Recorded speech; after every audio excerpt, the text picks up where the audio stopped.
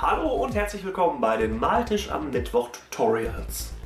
In dieser Videoserie veröffentliche ich alle im Maltisch am Mittwoch gezeigten How-to-Paints als separates Video, was mir die Organisation und Verwaltung, als auch euch, die Suche nach dem Content erleichtern sollte. Die im Video gezeigten How-Tos sind auf jeden Fall ganz nah an der Praxis orientiert, denn es ist genau die Art, wie ich an die Modelle herangehen würde und von Quick and Easy über Layern, über wir lassen uns ein bisschen mehr Zeit, genau die Schritte, die ich anwenden würde für meine Miniaturen, die bei mir im Spiel auftauchen. Und deshalb, wenn ihr Lust habt, eines dieser How-to-Paints mal nachzumalen und eure Figuren in sozialen Medien teilen wollt, dann tut dies doch bitte mit den Hashtags Dizzyfinger Maltisch am Mittwoch oder MAMTU, M-A-M-T-U, für Maltisch am Mittwoch Tutorials. Und wie ihr es gewohnt seid, beginnt das How to Paint nach dem Intro.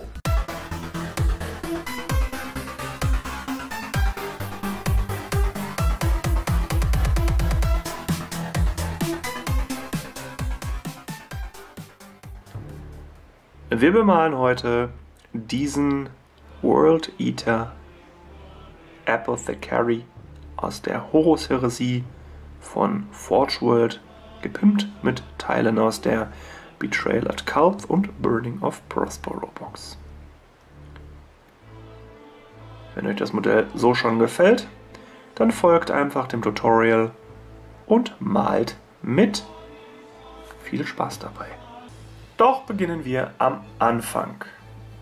Hier ist der Warhammer 30k The Horus Heresy World Eater Apothecary. Oder einfach World Eater Apothecarius. Das Modell wurde mir freundlicherweise von einem User zur Verfügung gestellt und ich habe den einmal mit einem Mittelton Grau grundiert, den sieht man hier unten noch durchschimmern, und dann recht heftig mit weißer Sprühgrundierung genebelt. Das ist der Ausgangspunkt, von dem wir jetzt arbeiten werden. Weil ja viel der Rüstung auch weiß sein soll, lohnt sich das auf jeden Fall so zu starten. Die Farben, die ich für dieses Tutorial benutzen werde, sind Abaddon Black, Ashen Grey, Dawnstone, Administratum Grey, Palette Witch Flash White Scar, Castellan Green, Death World Forest, Ogren Camo, Cantor Blue, Alaitok Blue, Drakenhof Nightshade, Balthasar Gold, Runelord Brass, Leadbelcher Runefang Steel, Dryad Bark, Cornred, Mephiston Red, Wild Rider Red, Troll Slayer Orange, Fire Dragon Bright, Avaland Sunset. Und einmal Agrax Earthshade Soft Tone ein Mix aus gleichen Teilen, also 50-50 Agrax, Earthshade und einem Verdünner-Medium, wie zum Beispiel Lamihen Medium. Dies hatte dann zur Folge, dass der Shade nicht ganz so, ganz so prägnant ist und man ihn auch vielleicht leichter dosieren kann. Dann, für die Kampfschäden, die das Modell erhalten wird, nutze ich Pigmente von Tabletop Basement Umbra braun. Dann braucht ihr dafür zwei Pinsel, um die Grundfarben aufzutragen. Ich habe einmal ein Layer M und einen Rotmarder Kolinski 2-0. Äh, die beiden sind schon ein bisschen äh, länger im Dienst, daher sind die schon nicht mehr ganz so, ganz so fein in der Spitze, sollte aber für das Tutorial reichen. Dann habe ich hier einen Rotmaler Kolinski 2.0, der frisch in Benutzung ist. Der ist noch sehr spitz, sehr fein in der äh, Spitze oben. Dann nutze ich einen 8er Dry Brush von AK Interactive Interface Base und von irgendwelchen Blistern von Miniaturen hier so ein Schaumschwamm solltet ihr auch haben. Hier seht ihr schon, da ist Farbe dran. Der ist hinterher für die Kampfschäden. Da solltet ihr dann auf jeden Fall eine schöne weiche Oberfläche hier haben. So, hier ist der World Eater und wir beginnen direkt mal mit dem Paint Job. Ich nehme mir den Layer M und nehme mir Palette Witch Flash zur Hand. Mit Palette Witch Flash male ich jetzt leicht jede Ebene der Rüstung, die hinterher auch tatsächlich weiß werden soll. Da haben wir natürlich anhand der Artworks auch unterschiedlichste Darstellungen. Ich persönlich finde, dass der Apothekarius ruhig den ganzen Torso, die Beine und die Arme in weiß haben darf. Der Helm ebenfalls, als auch vielleicht das Backpack. Da bin ich mir noch nicht ganz so sicher. Und dann ganz klassisch, wie es sich für World Eater gehört, die Schultern lediglich in Blau. So.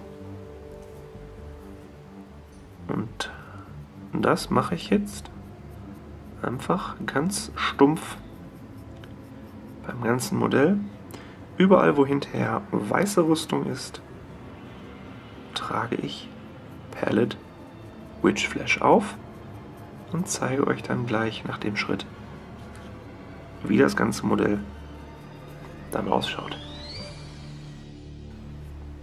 Nachdem die Rüstung jetzt diesen eher elfenbeinfarbenen Ton erhalten hat, nutze ich einmal mein Agrax Earth Shade Soft Tone, um alle weißen Rüstelemente zu shaden, also komplett zu shaden. Dafür nehme ich mir zusätzlich noch einen Shade-Pinsel zur Hand. Das könnten wir auch mit einem kleineren Pinsel auftragen, aber da ich ja von Grund auf faul bin, nutze ich den Shade-Pinsel. Bei diesem Schritt muss dazu gesagt werden, der User, der mir das Modell zur Verfügung gestellt hat, möchte einen eher abgenutzten, schon etwas länger in der Schlacht befindlichen World Eater haben, oder das Tutorial für solche etwas abgenutzteren World Eater haben. Deshalb auch dieser Elfenbein Off-White Farbton und auch zum Beispiel dieser Schritt des äh, Shadens, bevor wir dann gleich mit Bürsten ein wenig noch die Rüstung bearbeiten, um eben diesen abgenutzten, schon lange im Dienst, im Feldzug befindlichen Charakter der Rüstung zu erhalten. Denn es ist hier wichtig, dass ihr auch Techniken nutzen könnt, die vielleicht als totale Anfängertechniken verschrieben sind.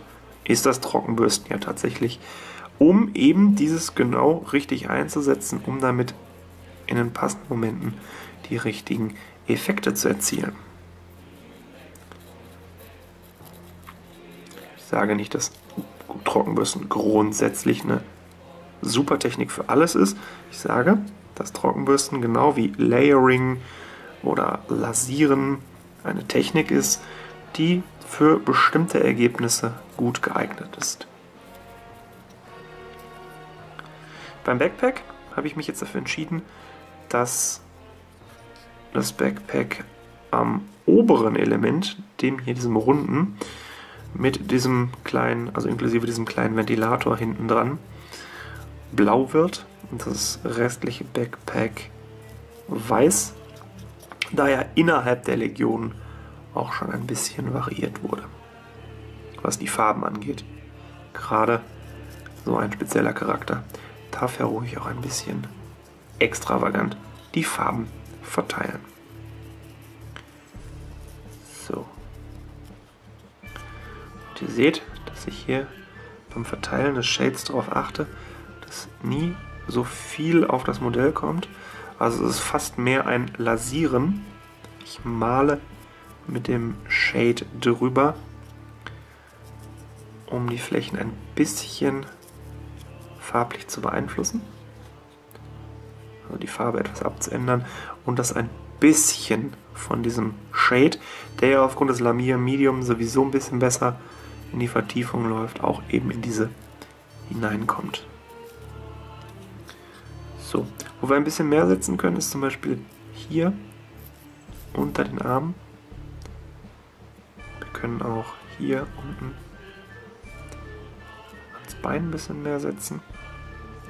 Oder hier das können wir auch ein bisschen mehr dran setzen um da vielleicht in der Vertiefung ein bisschen stärkere Schatten zu erzeugen, weil dort ja eventuell auch sowieso stärkere Schatten sind.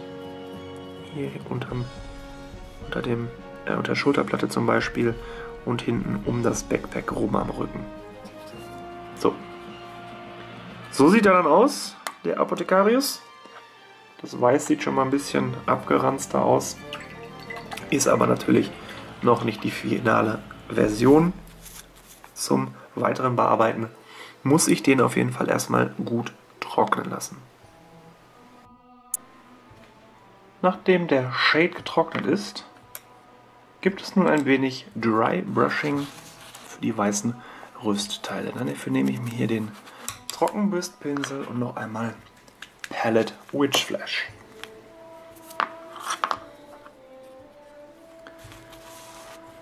Wie Trockenbürsten funktioniert, wissen ja die meisten. Ich nehme mir ein bisschen Farbe aus meinem Pöttchen auf den Pinsel, streiche das hier auf ein wenig Küchenpapier ab, nur noch ganz wenig Farbe im Pinsel drin ist. Und mit diesem gehe ich dann hier übers Modell, sodass im besten Fall an den erhöhten Stellen die Farbe hängen bleibt. Dabei ist wichtig, dass ihr nicht mit den Strukturen bürstet, sondern gegen die Strukturen. Je kleiner die Stelle ist, die ihr bürsten wollt, desto kleiner sollte auch eigentlich der Bürstpinsel sein, um da auch wirklich dran zu kommen. So. Und hier mit den Schritten des Bürstens erhalten wir dann auch nicht einfach irgendwie eine weiße Rüstung, sondern eine etwas abgenutzt wirkende Rüstung. Hier vorne an die, an die Front, an die Brustplatte. Da seht ihr das dann vielleicht ein bisschen besser. So. Und hier ans Bein und da ist wieder weniger Farbe auf dem Pinsel, als ich brauche. Und so bürstet ihr jetzt das ganze Modell bis zu dem Punkt, wo ihr sagt, jo, das ist der Weißton, der gefällt mir als Grundton für meine Rüstung. Lieber ein paar Mal öfter bürsten, als das in einem Mal versuchen und äh, sich dann vielleicht das Modell versauen, beziehungsweise ähm, eine Farbe zu erhalten, die man eigentlich gar nicht an der Stelle haben möchte.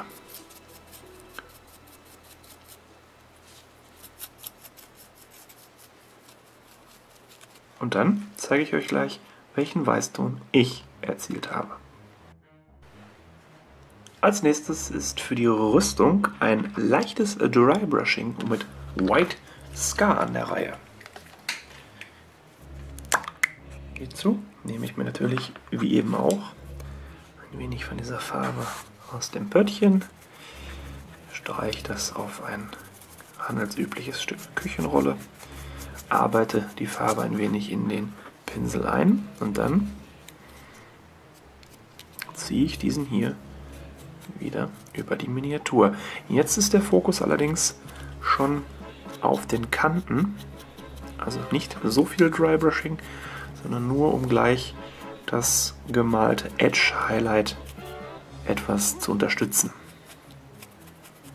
Beziehungsweise auch bei diesen doch sehr, sehr detaillastigen Forge World, beziehungsweise hier Forge World Kit Bash Modellen überhaupt rauszufinden, wo sind jetzt eigentlich diese ganzen Kanten. Oder bei so vielen Details könnte es unter Umständen vorkommen, dass ihr das ein oder andere Detail beim ersten Durchgang mal vergesst oder über, einfach überseht.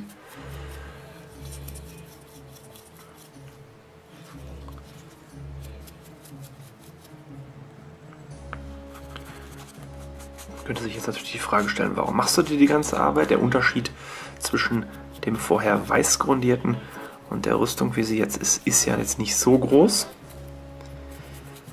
Die Frage ist berechtigt, aber man erkennt den Unterschied ja. Ich habe euch das fertige Modell ja eben schon gezeigt. So, nachdem dieser Dry Brush fertig ist, kann der Pinsel erstmal ins Wasser und ich nehme mir einen Rotmarder Kolinski und arbeite mit dem White Scar weiter. Und zwar ziehe ich jetzt gezielte Kanten-Highlights mit White Scar in die Rüstung. Überall da, wo das Modell von oben mit Licht beschienen werden würde. Denn die meisten Tabletopper, ich selbst auch, gehen davon aus, dass in den meisten Fällen das Licht von oben kommt. Ich habe schon viele verrückte Dioramen gesehen, wo es darum geht, dass zum Beispiel jemand eine Fackel hält und ähm, das restliche Diorama dunkel gehalten ist. Und da wird dann darauf geachtet, dass die Highlights wirklich von der Seite kommen, wo die, oder also auf der Seite sind, wo die Fackel ist. Das sieht meist cool aus, vollkommen legitim bei Spielminiaturen, die dann auch auf dem Spieltisch stehen, der meist auch tatsächlich mit einer Lampe von oben beleuchtet wird, äh, reicht es aber, glaube ich, so, dass man wirklich die Details oder wenn sie die Kanten, die dann ein bisschen schimmern würden, so highlightet. Beim Backpack hier habe ich diese unteren Kanten bewusst noch gewählt, um da noch ein bisschen, noch ein bisschen äh, mehr Farbe reinzubringen, das etwas aufregender zu gestalten. Normalerweise wäre das eine Stelle, die nicht unbedingt beleuchtet wird. So. Dann hier überall so ein paar kleine Kanten. Hier den MK3, die MK3-Armschiene, der Handschuh, vorne die Finger, die man hier ein bisschen sieht. Diese dicke Armschiene des Natetium oder wie auch immer diese Apparatur jetzt genau ausgesprochen wird. Dann gehen wir rüber auf die andere Seite. Und ich muss mich verbessern. Es ist gar keine MK3. Es ist ja sogar noch eine MK2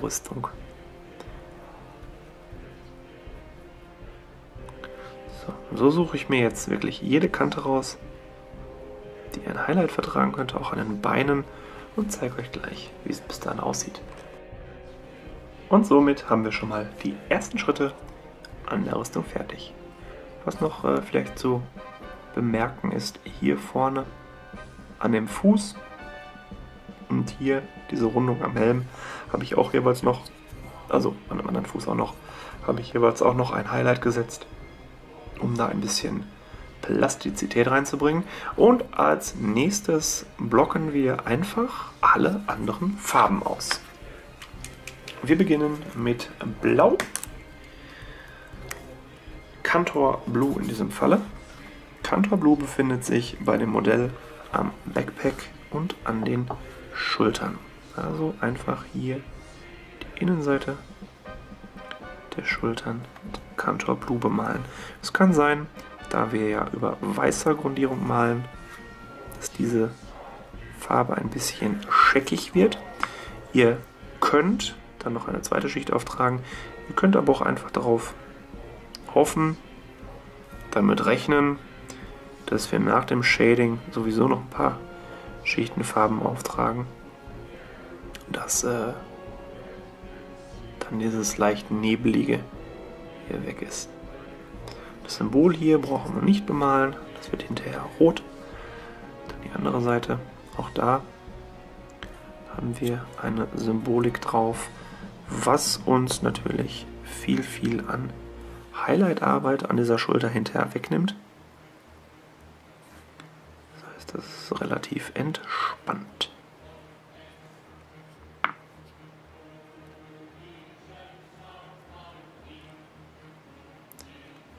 So, als nächstes nicht vergessen, ich habe gesagt, das Backpack wird hier oben auch noch blau.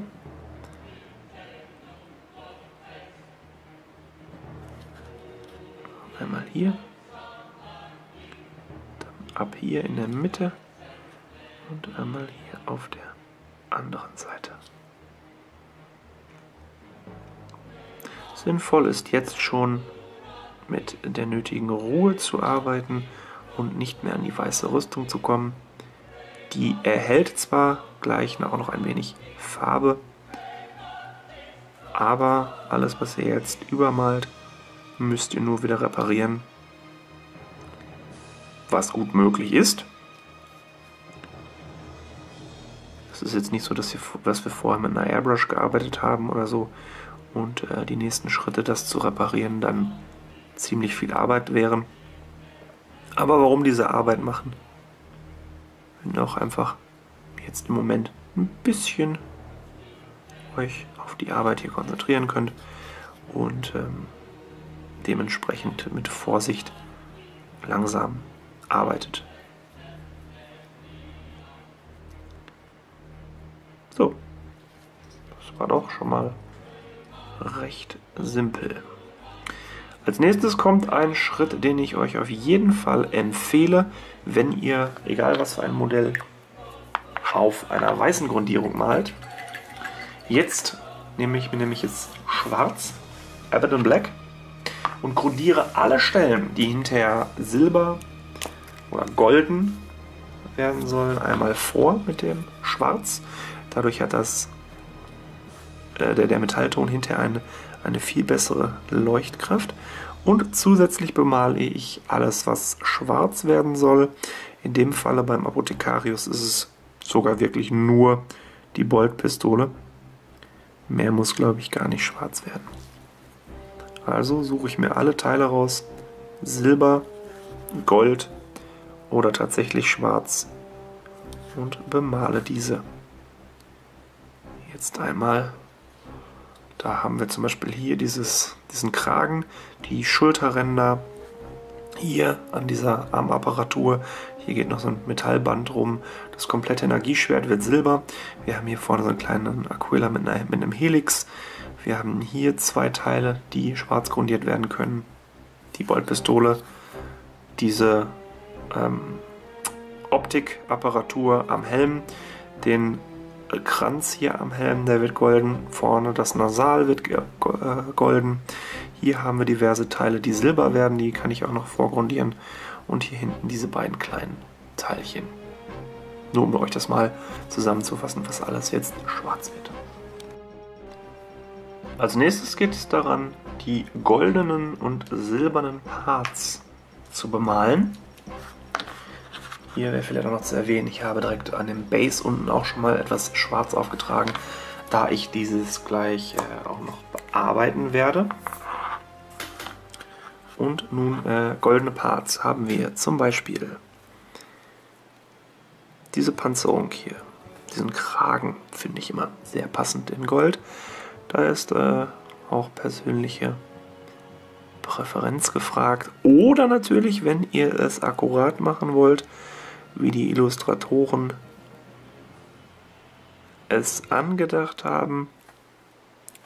Schaut ihr euch mal zum Beispiel äh, das Buch äh, Visions of Heresy beziehungsweise im Deutschen Visionen der Heresie an. Dort gibt es eine Sammlung, eine massiv große Sammlung von Artworks zusammen mit, dem, mit der groben Zusammenfassung der Horus-Heresie. Und äh, da findet ihr bestimmt auch ein Artwork, woran ihr euch orientieren wollt oder könnt,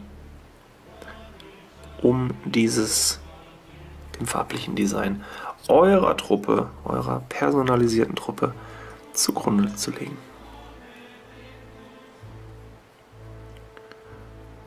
So, neben diesen Details am Helm haben wir natürlich hier noch den Schulterrand. Da könnte man natürlich jetzt auch sagen, okay, äh, ich mag es aber lieber, wenn der Schulterrand auch in der Rüstfarbe bemalt ist. Also in Blau. Oder in Silber. Oder ihr lasst ihn schwarz. Oder in Rot. Je nachdem, wie ihr meint, eure Modelle, in dem Fall hier die World Eater, interpretieren zu wollen. Ich mal dies so an, da es zum einen der User gewünscht hat, dass man ja dieses klassische Farbschema hat mit äh, metallernen Rändern und zum anderen, dass ich auch meine Inspiration hier mit einfließen lassen kann und ich bin sehr inspiriert durch goldene Rüstränder. So, die werde ich jetzt noch alle ausblocken, genauso wie das Parier der Energieklinge, um dort auch in dem Detail ein bisschen mehr Charakter einzufügen. Und dann machen wir direkt gleich mit Silber weiter. Nun nehme ich mir LED Belcher und bemale alle Teile, die Silber sein könnten. Hier vorne entscheide ich mich, dass das hier auf jeden Fall eine Fiole ist, die oben und unten metallern ist, also einen metallernen Boden und auch einen metallernen Deckel hat. Diese Apparatur, die ich mir nicht erklären kann, wird auch einfach silbern. Hier ist es wichtig, vielleicht auch ein bisschen in die Vertiefungen reinzumalen. So, dann haben wir hier am Gürtel auch noch einige Fiolen und Apparaturen.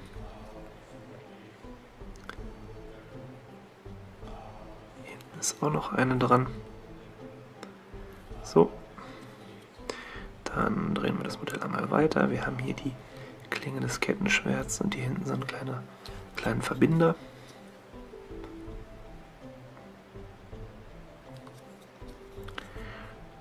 Diese ganzen Vorrichtungen hier am Handschuh.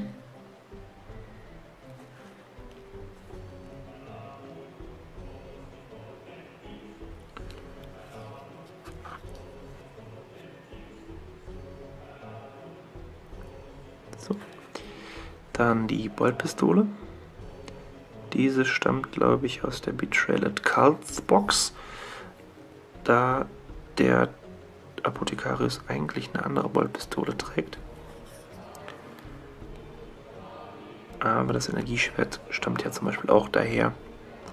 Also es handelt sich hier um ein Kit Bash. Was ich auch irgendwie sehr cool finde. So, wenn ich jetzt hier bei dem Bolter oder Boltpistolen-Casing ein bisschen übermale, ist das nicht weiter schlimm, da wir nachher auch nochmal mit Schwarz malen werden.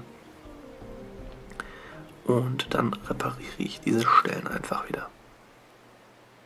Also arbeite diese, wo ich ein bisschen jetzt mit Silber übermale, wieder aus. So, das haben wir. Dann kommen diese ganzen Optiken hier oben am Helm dran.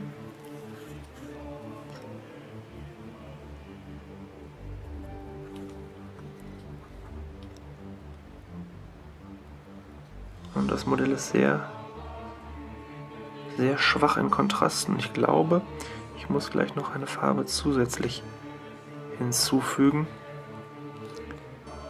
Oder ziehe ich das einfach durch? Nein, ich ziehe es einfach mal durch und äh, erwähne vielleicht noch was ihr, wenn ihr das an eurem Modell haben wollt, ein bisschen kontrastreicher noch ergänzen könnt. Zum Beispiel könntet ihr einige Kabel, die ich gleich grau malen werde, zum Beispiel gelb mit schwarzen Hazard Stripes bemalen. Das habe ich auch bei einigen Fotos schon gesehen, dass äh, Hobbyisten das so bemalt haben. Könnte man machen. So. Tada. Dann eben noch hier rum diese ganzen Apparaturen. Was auch immer der Apothekarius damit machen muss. Also der 40k Apothekarius ist definitiv, was die Ausrüstung angeht, etwas geradliniger. Aber gut, das ist auch ein schönes Modell. So, das waren alle silberne Parts. Das Base hier werde ich jetzt einmal mit äh, LED Belcher, danach einmal mit Runefang Steel vorsichtig bürsten. Das liegt nämlich an dieser Art, wie ich die Bases gestalte. Also ich werde tatsächlich hier vorsichtig, okay, das ist ein bisschen sehr heavy, vorsichtig ein bisschen bürsten, damit ich nicht da dran komme. Und es, sind scheinbar noch zu viele weiße Pigmente im Pinsel, als dass das Silber sehr hell ausschaut. So, jetzt kann ich auch hier von vorne nochmal dran. Denn diese Fläche hier vorne wird Asphalt hinterher werden. Da muss ich ja noch nicht ähm, aufpassen, die habe ich ja noch nicht bemalt. Und nach dem LED-Belcher, was einfach nicht zugehen möchte, so brauche ich mal ein neues Töpfchen, nehme ich mir Rune Fang Steel zur Hand.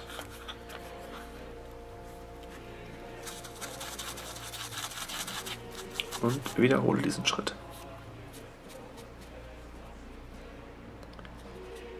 So. Das Base soll nicht vom Modell ablenken, deshalb ist das nicht so wirklich fancy gestaltet. Und jetzt als nächstes gibt es die weiteren Farben zu blocken. Wir haben noch Schläuche, wir haben Linsen, wir haben auch noch einige wenige Teile aus Leder. Und damit fangen wir jetzt direkt mal an. Nehme mir Dryad Bark zur Hand und blocke die Elemente aus Leder aus. So haben wir zum Beispiel einmal hier auf dieser Schürze sitzt noch ein Holster. Dann ist natürlich die Frage der Schürze. Die habe ich schon in unterschiedlichsten Farben gesehen. Ich werde einfach nicht schlau raus, was ich da machen soll, damit es gut aussieht. Ihr habt es wahrscheinlich vorhin schon gesehen, wie es dann im Endeffekt am Modell auch ausschaut. Ich an dieser Stelle bin noch total unschlüssig, was ich da machen soll. So, Griff der Ballpistole. Hier. Und einmal hier hoch. Griff des Schwerts.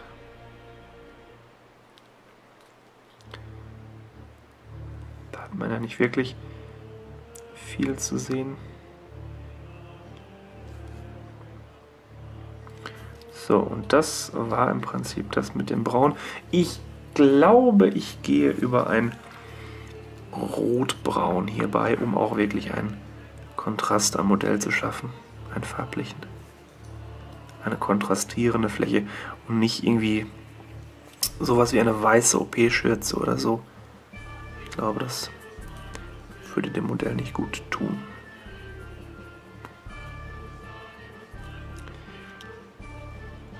Und für Rotbraun werde ich auf jeden Fall das Ding hier mal mit Dried Bark vorgrundieren.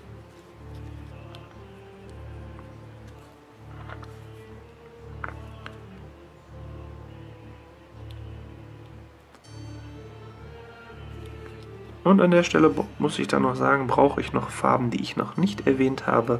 Doom, Bull Brown und Tusk Gore Fur die ich dann gleich nochmal bei den Highlights an der Schürze mit erwähnen werde. Aufgrund dessen, dass ich noch nicht wusste, wo ich hier farblich hin möchte, habe ich die einfach zu Beginn des Videos noch nicht bedacht. So, hier zur Mitte hin ein bisschen aufpassen, dass ihr nicht an die Beine kommt.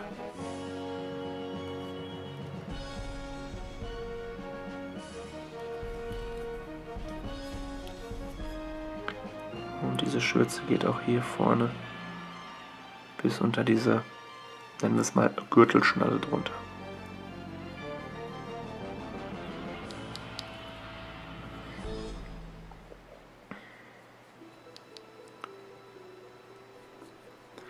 So, damit habe ich die braunen Passagen auch. Dann stelle ich mir hier schon mal, huch, excuse me, stelle ich mir schon mal, wenn ich drankomme, Doombull Brown und Tusk Gore Fur an die Seite, damit ich da gleich dran denke. Und wir kommen zu weiteren Farben. So, alles noch vom Licht gut eingestellt, nachdem ich davor gebumst bin. Ja, doch. Jetzt nehme ich mir zur Hand Corn Red und beginne mit dem Legionsemblem auf der Schulter.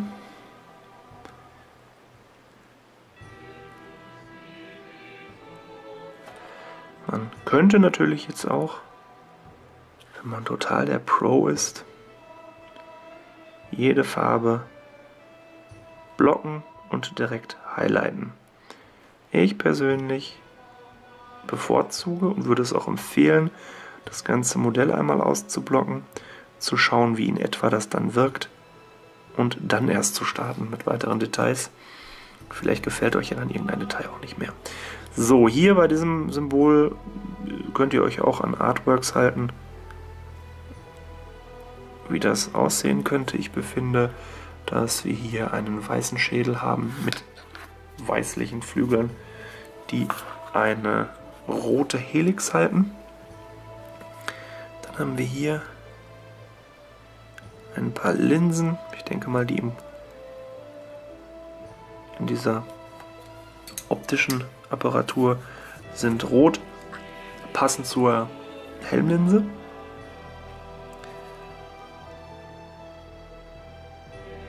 Da setze ich auch ein wenig Corn Red rein, ganz vorsichtig. Dann ähm, haben wir hier diese Fiole. Ist auf jeden Fall irgendwas Rotes drin. Hm, schauen wir mal weiter. Diese Symboliken auf, dem, auf der Schürze bemale ich erst, wenn die Schürze fertig ist. Hier glaube ich nicht, dass da was Rotes dran muss. Hier auch nicht. Und ich weiß nicht, ob das da Scheinwerfer sein sollen oder einfach nur silbernes Metall.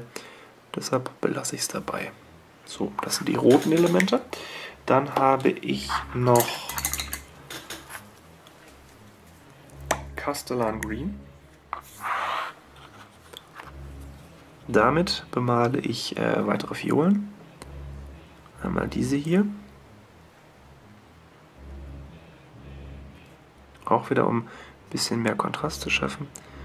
Einmal diese hier und einmal die letzte hier hinten. Einfach nur mal, um hinterher ein paar optische Elemente noch drin zu haben, die sich vom restlichen Modell abheben. Dann kommen wir zu Ashen Grey. Alles, was Kabel sind und was diese sogenannte Soft Armor ist. Oder diese Kabelstränge hier zum Beispiel. Bei der MK3 hat man ja hier oben am Oberschenkel auch noch diese Elemente durchschimmern. Bei den, äh, bei den späteren Marks der Power Armor sind die ja verlegt worden. So könnt ihr euch jetzt hier alle Stellen raussuchen, wo Soft Armor ist oder alle Kabel, beziehungsweise und alle Kabel. Die könnt ihr einmal mit Ashen Grey grundieren. Dann haben wir Soft Armor zum Beispiel hier hinten auf der Rückseite. Die kenne ich noch von der MK3 Rüstung. Da ist die nämlich auch noch daran. Solche Soft Armor unter den Armen in den Ellenbeugen oder in der Hüfte hatte dieses Modell nicht. Aber wir haben ein bisschen was in den Panzerhandschuhen rechts und links, in der Handfläche sozusagen. Und die ganzen Kabel. Und wenn das alles bemalt ist, zeige ich euch, wie das Modell an dem Punkt aussieht. Als nächstes fehlt lediglich noch ein wenig Palette Witch Flash. Und zwar auf der Seite hier. beim Legionssymbol. In der Mitte, da sind ja ein paar Ländereien abgebildet, so ein Planet. Der sollte vielleicht nochmal weiß gemacht werden. Und hier auf der Seite die Flügel und der Schädel nochmal in weiß ausgearbeitet.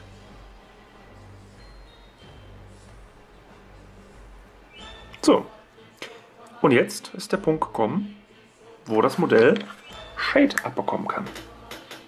Lange hat es gedauert, bis wir hier sind, aber jetzt können wir es tatsächlich machen. Hm, ich nehme mir den Agrax Earth Shade Soft Tone und den Layer M, weil wir den Shade natürlich etwas gezielt auftragen müssen. Und damit shade ich alle Stellen des Modells, die nicht weiße Rüstung sind. Man könnte auch sagen, alles das, was wir gerade eben mit Farbe versehen haben.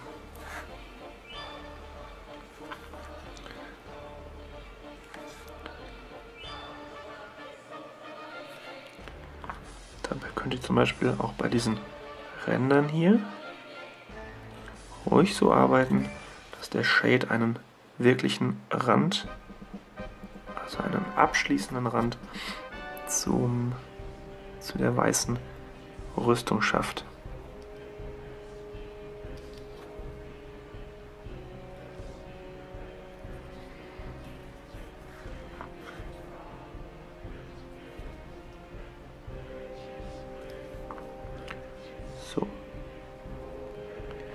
Und das mache ich jetzt am ganzen Modell, außer hier bei diesem kleinen Planeten. Den shade ich mit Drakenhof Nightshade und zeige euch dann das Modell, wie es ausschaut. Während der Shade unten am Base noch ein wenig trocknen muss, kann ich mich schon mal den Kampfschäden zuwenden. Jetzt haben wir hier bei dem Modell das Problem, es ist nicht wirklich viel freie Fläche, wo wir sowas aufbringen könnten. Aber ich denke, hier hinten am Backpack und hier am Knie können wir jeweils was anbringen. Vielleicht auch noch hier am Handschuh. Mal schauen. Zunächst sollten wir aber auf jeden Fall, weil die Kampfschäden dann quasi so das Ende der Bemalung an der Stelle sind, die blauen Elemente highlighten. Heißt, wir bereiten die Rüstung auf die Kampfschäden vor.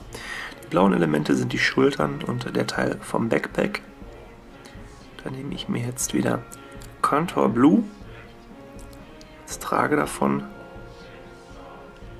auf den Flächen ein bisschen was auf und lasse in den ganz tiefen Stellen oder wo die Flächen an andere Farben grenzen, noch etwas von dem geschädeten Contour Blue stehen.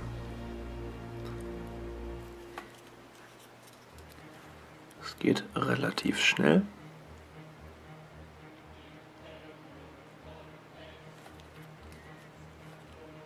Da hier nicht so viele blaue Flächen sind.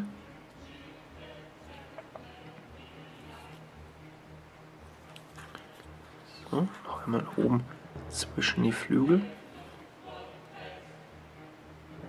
Das ist eine Stelle, die ich vorhin tatsächlich vergessen hat, hatte, die sich jetzt durch den äh, Shade erst wirklich rausgezeichnet hat. Und dann am Backpack.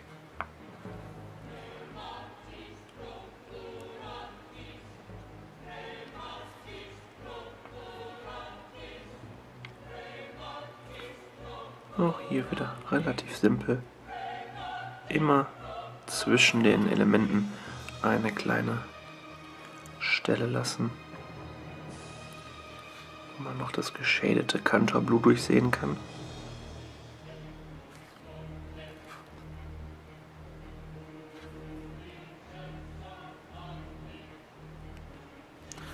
Um da einen, also langsam einen Kontrast aufzubauen.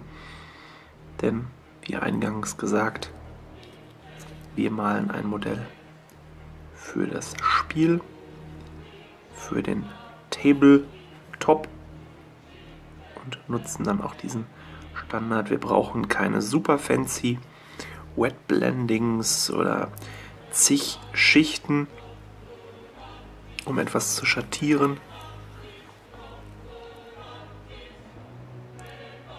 Hier können wir tatsächlich mit einfachen Highlights arbeiten. So.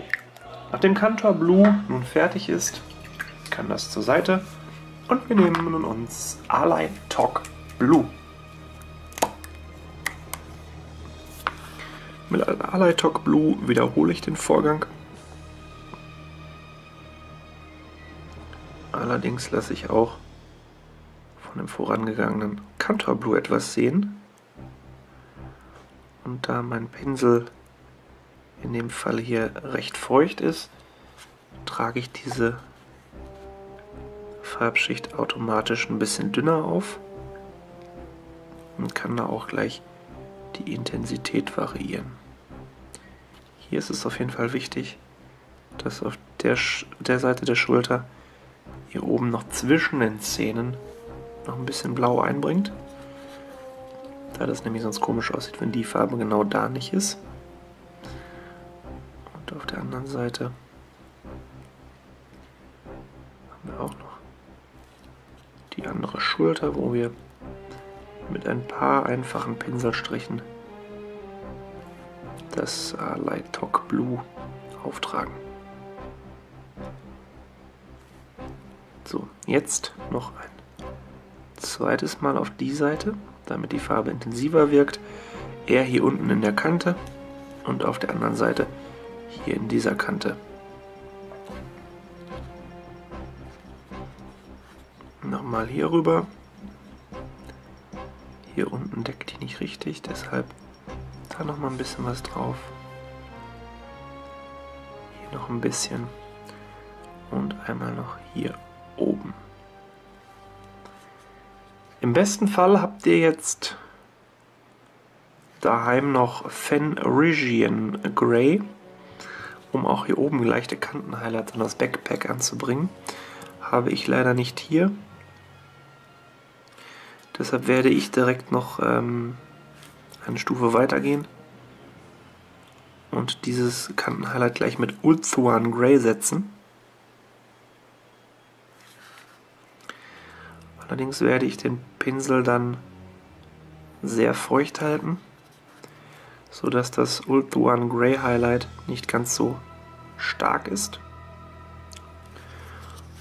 und dadurch mehr in die Richtung tendiert, dass es wie Fenrisian Grey aussieht.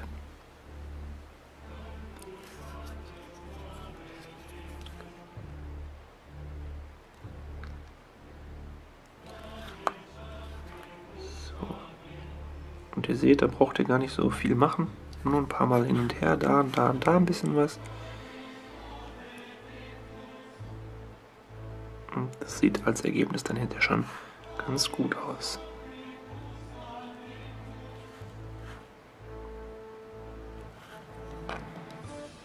Die Seite von unten kann man wirklich ruhig dunkelblau lassen. Da kommt auch nicht wirklich Licht dran. Wenn wir von der Prämisse ausgehen, dass es Licht von oben kommt. So, hier noch eine zweite Schicht. Dann hier diese Kabel, die bevorzuge ich tatsächlich auch in der Farbe des Backpacks zu malen und nicht nochmal irgendwie grau als wirklich extra Kabel. Hier noch eine zweite Schicht jeweils. Und das Layering ist da fertig. Jetzt nutze ich, wie gesagt, einmal äh, Ulthuan Grey.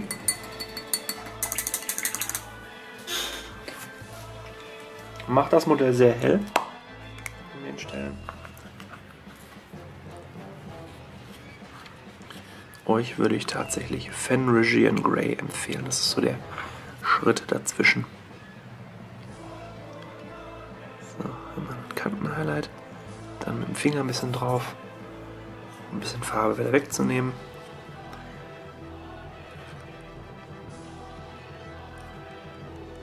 Und dann sieht das auch fast aus wie das Highlight, das ihr mit Fenrisian Grey malen würdet. Ist einfach dem geschuldet, dass mein Fenrisian Grey gerade kaputt ist und ich noch nicht dazu gekommen bin, ähm, Neues zu besorgen.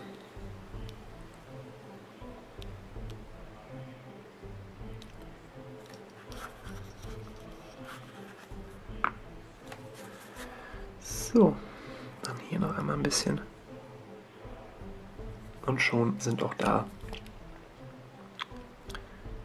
für die Farben die Highlights durch, die man wirklich braucht, um das auf dem Spieltisch zu sehen. So, jetzt können wir uns mit den tatsächlichen Kampfschäden befassen. Dazu nehme ich mir hier meinen Schwamm, meinen kleinen Blisterschwamm. Ich brauche braun und schwarz. Also Dried Bark und Abaddon Black. Und gleich Pigmente von Tabletop Basement, nämlich die Umbra Braun. Die habe ich mir hier schon, welche sind das? Die, genau. Die habe ich mir hier schon auf, diesem, auf dieser Untertasse angelöst mit Wasser, damit ich die gleich verarbeiten kann. Wir nehmen uns zunächst Dryad Bark. Dann nehme ich den Blisterschwamm, tupfe den ein bisschen hier in die Farbe und streiche dann das meiste, was ich davon habe, auf einem Küchentuch ab. So soll das aussehen. So, streiche das hier ab. Fast wie ein Trockenbürstpinsel, dass ich nicht mehr viel drauf habe. So. Jetzt. Jetzt tupfe ich an Kanten, wo Kampfschäden sein könnten, mit dem Schwamm einmal so auf.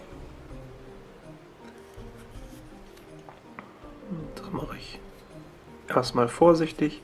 Hinterher werdet ihr bestimmt ein bisschen Routine darin kriegen. So, da ist was. Da noch einmal zwischen. Dann haben wir hier am Knie ein bisschen was. Hier unten ans Bein kann ich noch rangehen. Hier kann noch was dran sein. So. Und vielleicht hier noch an die Hand und ans Backpack von hinten. So, wie gesagt, wir haben nicht wirklich viel Rüstung, die es hergibt, dass man da Kampfschäden dran machen kann bei dem Modell. Hier in der Mitte würde ich nichts mehr hinsetzen. Das macht es dann auch wieder sehr unruhig. Deshalb sollte das dieses Modell tatsächlich reichen. Jetzt nehme ich mir nochmal Abaddon Black und wiederhole diesen Schritt nochmal. Dadurch kriege ich bei diesen Punkten, die da drauf sind auf dem Modell dann, eine ganz leichte Variation hin. Sieht es nicht so eintönig und langweilig aus. Zum anderen schaffe ich nochmal zusätzlich eine, ein bisschen mehr Struktur in einer anderen Farbe. Vielschichtigkeit. Und äh, das sieht dann auch ganz schön aus. Gerade wenn ihr auch dunkle Rüstungsteile habt, auf dem das Braun nicht so gut zu erkennen ist, macht es Sinn, auch nochmal mit Schwarz dran zu gehen. Das sieht man einfach dann besser. So, das war im Prinzip dieses Stippling mit einem Blisterschwamm für Kampfschäden. Jetzt nehme ich mir den Layer M, nehme mir ein bisschen Wasser, rühre damit hier die Pigmente ein bisschen an kann man auch mit Aceton oder sowas machen, glaube ich. In einem Alkohol auf jeden Fall. So, mit dem bisschen hier tupfe ich jetzt ganz leicht nochmal an diese Stellen. Und zusätzlich noch diesen matten, bräunlichen Effekt da reinzukriegen. Als würde man entweder Rost oder halt auch die Rostschutzfarbe auf der Rüstung des Astartes sehen.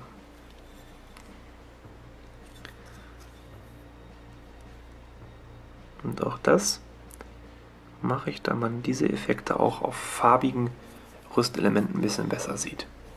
So, und um gleich das Metall spannender zu gestalten, ziehe ich jetzt bei den Pigmenten mit einer sehr flüssigen äh, Mixtur nochmal hier über die silbernen Metalle drüber. Ganz grob einmal. Dann sieht nämlich das Metall ein bisschen interessanter aus, ein bisschen spannender, wenn ich gleich highlighte.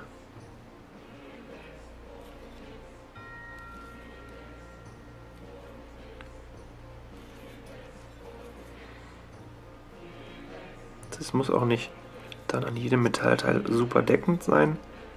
Nur an jedem Element sollten ein paar dieser Pigmente dann auch wirklich bleiben.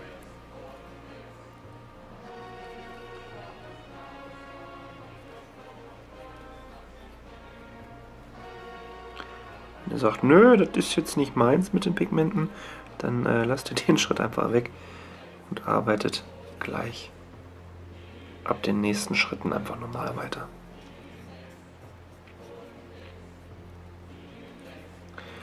So, was aber auf jeden Fall Sinn macht bei der Base-Gestaltung, hier unten am Base mit ein bisschen mehr Pigmenten wieder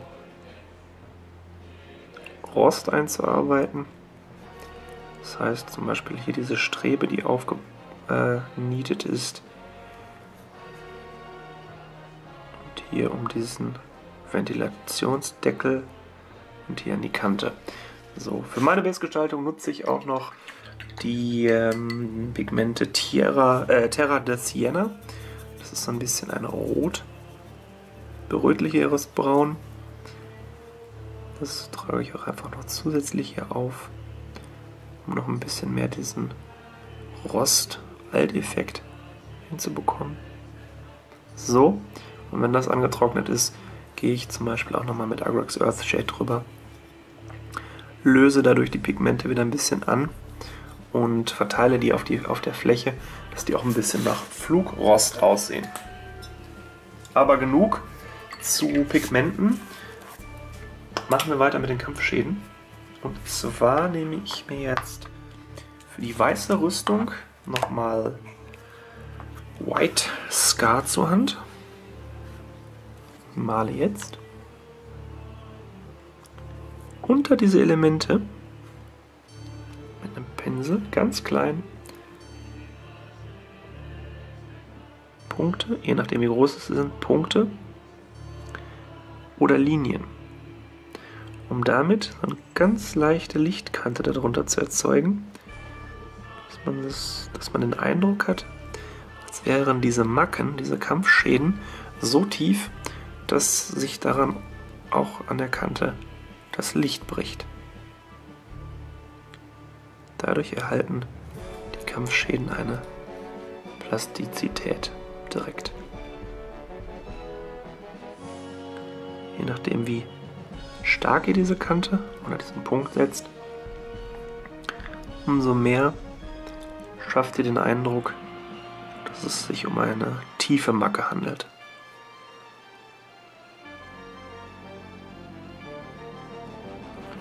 Natürlich ist es auf weiß auf weißer Rüstung ein bisschen blöd.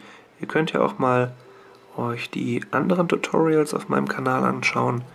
Da habe ich auch noch bei anderen Modellen, fast bei allen meinen Space Marines, egal ob 40k oder 30k, nutze ich mittlerweile Kampfschäden. Da könnt ihr euch das ja mal angucken, wie das auch bei anderen Rüstungsfarben aussieht und rüberkommt.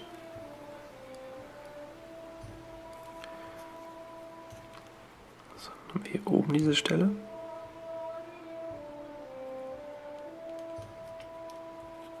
Dann von der anderen Seite.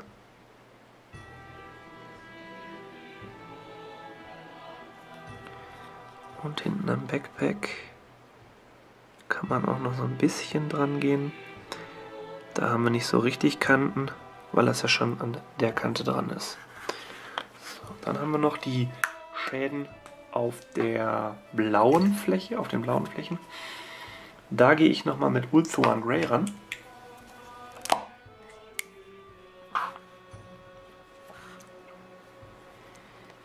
Lasst mich mal schauen von der Seite hier, genau. Da kann ich auch hier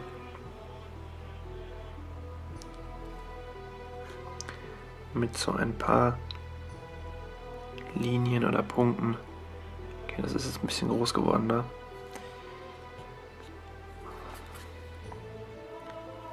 Naja, passiert. Muss ich gleich ausbessern. So, mit ein paar Stellen kann ich da auch Macken darstellen. Da würde ich euch auch wieder Fenrisian Grave empfehlen. Weil ihr seht ja, das ist äh, sehr, sehr hell im Kontrast. Kleinen Fehler kann man auch ganz gut ausbessern. Dafür nehme ich nochmal Allied Blue. Das war die Farbe, die ich vorher genommen habe für die Rüstung. Und setze hier wieder ein bisschen Farbe drauf. So, dann wirkt das gar nicht mehr so schlimm. Gut, und das sind im Prinzip Kampfschäden, die ihr machen könnt. Kommen wir zu den nächsten Farben. Es geht ums Highlighting. Wir beenden quasi das Modell Stück für Stück langsam. Ich zoome noch mal ein bisschen mehr heraus.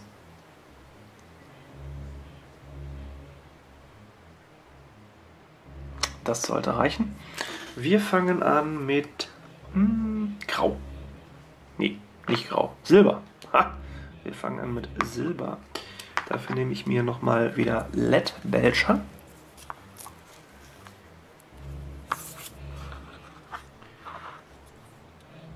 Und male über die eben mit Pigmenten bearbeiteten Teile ein bisschen drüber. Ich versuche allerdings, weil die Rüstung schon so hell ist, diese silbernen Teile nicht mehr ganz so hell zu machen. Das heißt, ich male nicht mehr die Flächen, sondern gucke, wo bei den Elementen Highlights wären und greife die schon mal auf. Also hier diese Rundung zum Beispiel. Oder hier diese Rundung. Also ich male nicht komplett einmal nochmal das Element nach, wie ich es bei anderen Modellen vielleicht machen würde, die sehr hell äh, wirken sollen. Hier haben wir schon diese extrem helle Off-White-Rüstung. Da brauchen wir nicht zusätzlich noch mit so vielen silbernen Elementen so dermaßen hell werden. Genau dasselbe gilt hier an dem Handschuh. Da gehe ich auch mit dem Pinsel, fast wie beim Trockenbürsten, einmal nur noch mal entsprechend, wo Lichtreflexe hinkämen, drüber. Das zeige ich euch auf der anderen Seite auch nochmal. Also von hier kämen die Lichtreflexe einmal hier, dann das Element darunter und das hier hinten. Zack. Hier hat er diesen Apparat am Arm festgemacht mit dem Metallband. Ähm, es geht auch noch ein bisschen Silber ab. Dann haben wir hier die Optik. Auch hier eher nur so, als würde ich einen Highlight gezielt setzen, nicht die komplette Fläche. Dann haben wir die Boltpistole. Hier oben diesen Auswurfschacht. Hier ein bisschen, da ein bisschen. Einmal über den Lauf, einmal hier. Hm. Nur ein bisschen drüber ziehen, gar nicht flächig malen. Das ist auch die Sache, warum ich euch vorhin empfohlen habe, blockt das ganze Modell erst einmal aus. Dann wisst ihr nämlich, wie es in etwa wirkt. Wenn viel weiß ist, also viel helle Farbe, solltet ihr zum Beispiel alle anderen Sachen, die hell werden könnten, wie zum Beispiel Metalle, nicht so extrem hochziehen. Jetzt kommen wir zum Schwert. Auch da ziehe ich, wie beim Trockenbürsten, mit dem Pinsel nur drüber. Vorne zur Spitze hatte ich mehr Farbe dran, sieht man hier. Und jetzt nochmal ein zweites Mal nur hier oben.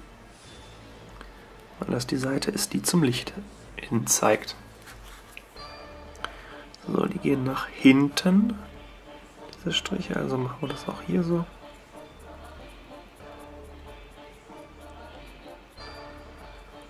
Einmal und noch ein zweites Mal eher oben.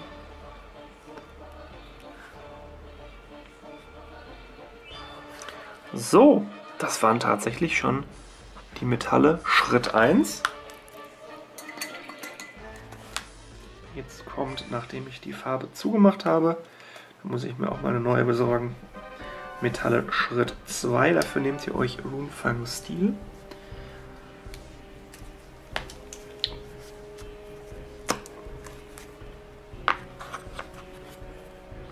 Und wiederholt das von eben nochmal. Nur, dass ihr jetzt noch weniger Highlight setzt. Das heißt, hier bei den Fiolen zum Beispiel nur so einen ganz kleinen Punkt. So diese Kante, wo dann sich das Licht am meisten reflektieren würde.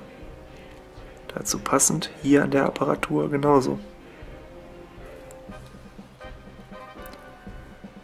Hier an diesen Fiolen auch diese Kanten hier jeweils. Ganz kleine Punkte nur dran. Nicht viel. Nur so ein bisschen. Weiter hier hinten rum. Hier male ich so eine kleine Linie rein, weil das ist ja mit komplett metallischer Gegenstand. Also so eine kleine Reflex, Lichtreflexlinie. Hier bei den Teilen am Handschuh. Hier haben wir eine Kante. Hier haben wir jeweils Kanten. Fertig, mehr braucht da nicht hin. Hier an den Zähnen der Kettensäge kommen von außen ein paar Reflexe dran. Und hier von vorne braucht gar nicht mehr. Da geht mir der Farbtopf zu. Verdammte Axt. Auf der anderen Seite beim Handschuh ebenfalls ein paar gezielte Punkte. Hier das Metallband geht genauso. Hier oben kommt noch Licht hin, unten brauche ich schon gar nicht mehr dran. Dann haben wir hier diesen, diesen Stöpsel, Stecker, Platz. Dann hier oben die Optiken. Auch wieder nur so ein paar, paar Striche und ein paar Kanten raussuchen, die man etwas heller machen kann. So, einmal rumgeschaut. Fehlt noch Schwert und Boltpistole. Boltpistole. Oberer Rand. Da ein Punkt. Hier ein bisschen. Zack. Und die Seite ist fertig. Andere Seite. Hier oben. Fertig. Das Schwert male ich ähnlich wie eben. Erst mit diesen Linien von oben. Dann gucke ich mir das mal an und denke mir, hm, reicht ja schon fast. Andere Seite.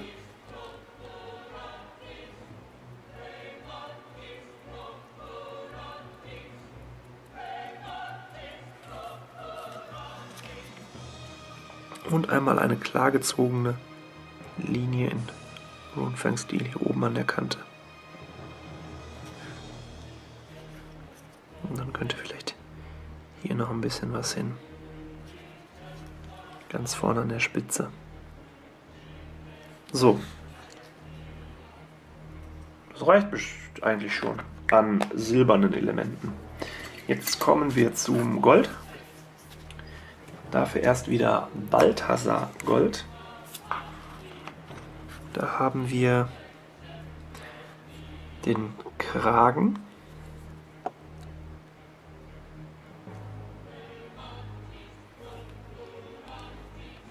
hier vorne diesen kleinen Aquila, den Griff bzw. das Parier am Energieschwert.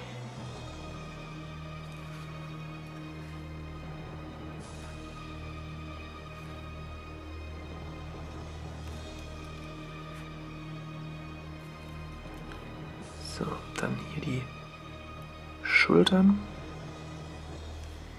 Da achtet ihr dann auch wieder darauf, dass ihr nicht ganz in die Vertiefung reinkommt mit dem Pinsel, mit der Farbe.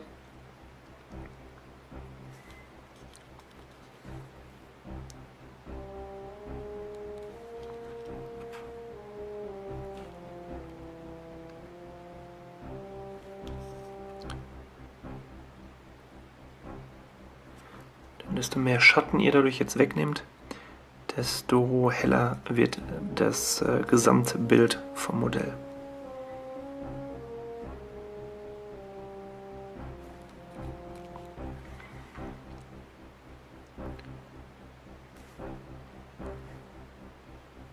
So. Dann einmal von hier.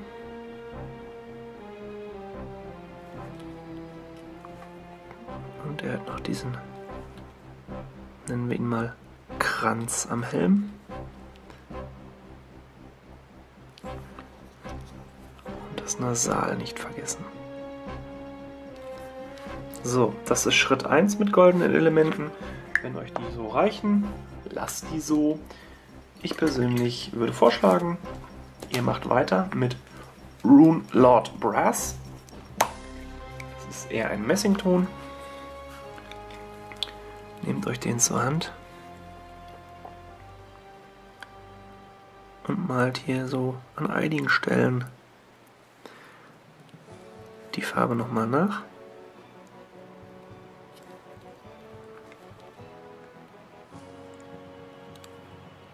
Prädestiniert dafür sind natürlich Stellen, wo auch das Licht hinkommt.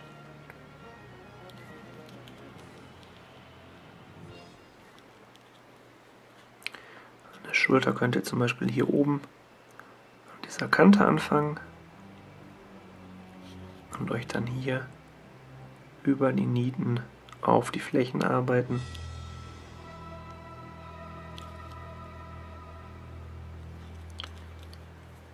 Und just remember Tabletop Standard. Not the fancy blending kind.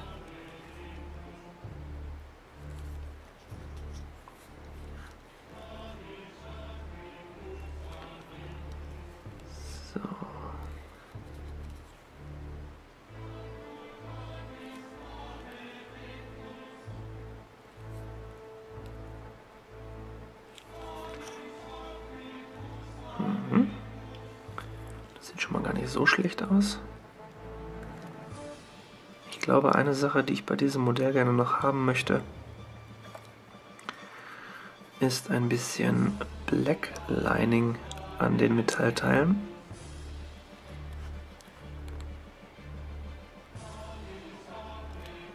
Das mache ich auch hin und wieder mal. Hier ist es, glaube ich, auch angebracht. Runelord Brass weg. Dragon of Nightshade her. Dem Dragon of Nightshade geht ihr jetzt gezielt an die Nieten und sowas. Hier vorne zum Beispiel. Und dann setzt ihr da ein bisschen was von dem Shade drunter.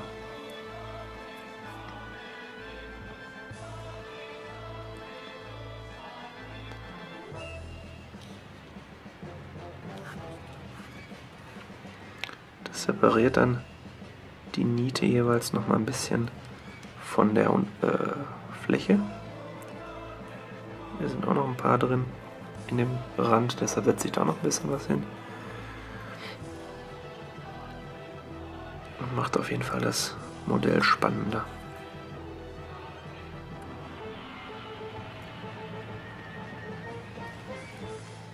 Denn auch wenn es nur in Anführungszeichen Tabletop Standard sein soll, kann das Modell ja auch noch was aussehen. So, hier vorne in den kleinen Helix Aquila setze ich auch noch ein bisschen davon rein. Und am Schwert hinten ins Barrier und da auch noch was. So einen ganz kleinen Punkt, um dann noch eine Trennung zu schaffen. Und der sieht ja schon mal gar nicht so verkehrt aus.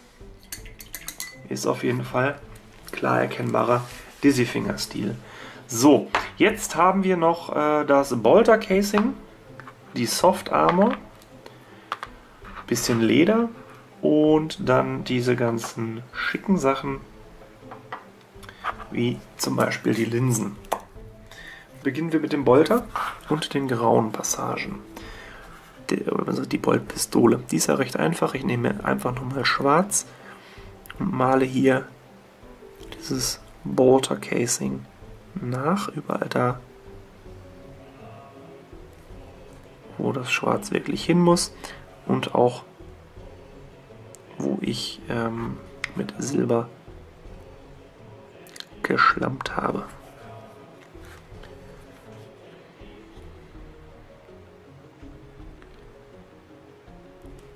So. Dann einmal hier von der unteren Seite und hier vorne noch eine Linie. Zack. Das war's schon. Kurz und schmerzlos. Dann nehme ich mir als nächstes als nächstes als nächstes Ashen Grey. Damit ziehe ich ganz leichte Highlights in das Schwarz rein. Wie folgt. Obere Kante. Hier hinten runter. Fertig. Reicht. Braucht nicht mehr. Auf der gegenüberliegenden Seite ebenfalls obere Kante. Hier hinten runter. Braucht nicht mehr. Vielleicht da nochmal auf beiden Seiten. Ein Stückchen runter. Das war's. Mehr braucht dieses Modell wirklich nicht. An schwarzen Highlights an der Waffe. Zumindest in Ash in Grey. Also ich ziehe das gleich noch an einer Stelle ein bisschen heller. Aber mehr brauchen wir nicht davon. Dann diese ganzen kleinen Käbelchen kriegen einen Hauch.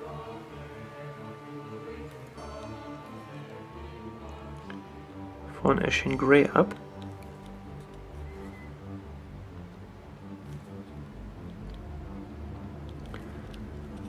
Und zum einen übergemalte Stellen zu kaschieren und zum anderen auch die Farbe entsprechend zu highlighten und die Kabel ein bisschen heller zu machen.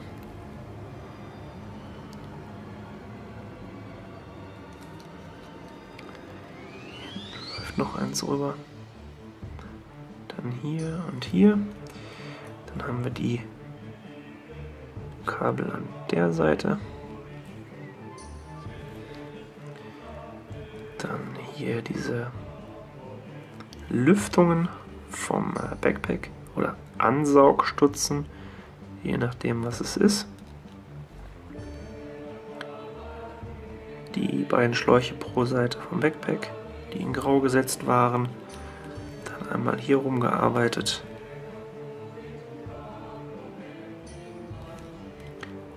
Und einmal noch hier hinten diese kleine Soft Armor und das Mini-Stückchen im Nacken nicht vergessen. So, ich glaube, das waren alle relevanten grauen Stellen. Weiter muss man zum Beispiel die Soft Armor in den Handinnenflächen auch gar nicht mehr bearbeiten. Ähm, das tut nicht Not. Dann nehme ich mir als nächstes Dawnstone. Damit kommt nochmal ein Mini-Highlight auf die Waffe und zwar hier hinten in die Ecke. Hier und hier punktuell an die Kanten. Da, da und da. Dann kümmere ich mich wieder um die Soft Armor.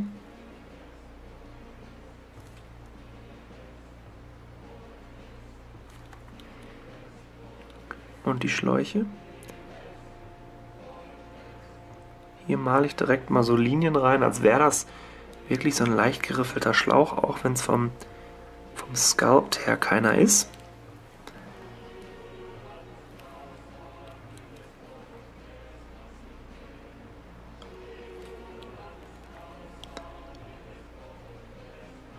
Es wirkt dann auf jeden Fall etwas interessanter. So, hier hinten noch ein bisschen. Und hier haben wir Schläuche. Bin ich noch an der Kamera? Jo, bin ich noch. Und so entsteht ganz langsam ein fertiger World Eater in einem Tabletop Standard. Für den einen oder anderen ja auch vielleicht von der Bezeichnung gehobener Tabletop Standard. Keine Ahnung. Ich möchte mir nicht anmaßen, zu sagen, wie mein Tabletop-Standard ist. Für mich ist das hier ein Tabletop-Standard. So, jetzt kann ich ja sogar hier noch einmal mit einem ganz kleinen Strich unter den Helm an den Verbinder gehen, den ich die ganze Zeit vernachlässigt habe. Ähm, ja, sieht gut aus. Ich glaube, das ist alles gewesen in Grau. Jetzt noch ein allerletztes Highlight in Administratum Grey.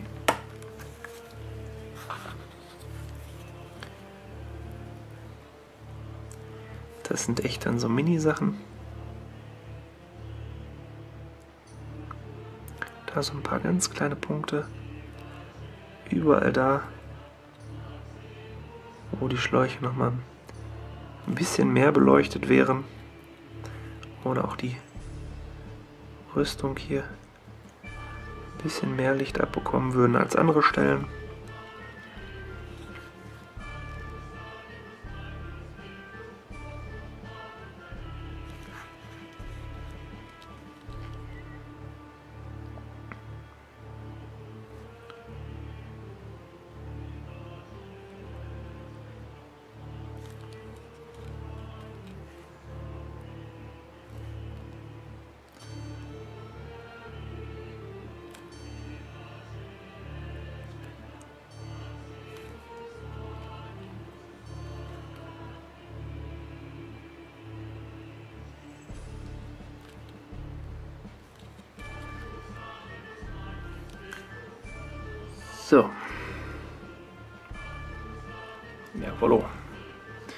So langsam wird's was.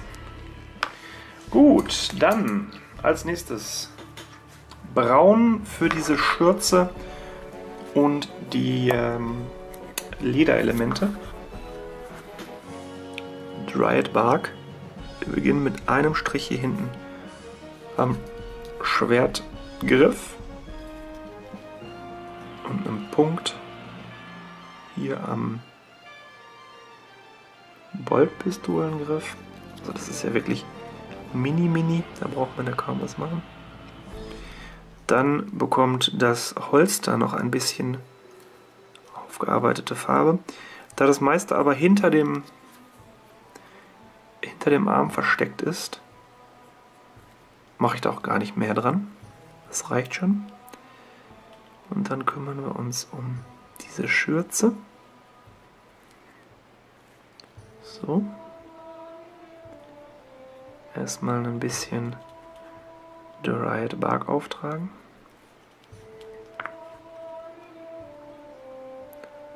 Und schon ein bisschen versuchen, diese Falten hier aufzugreifen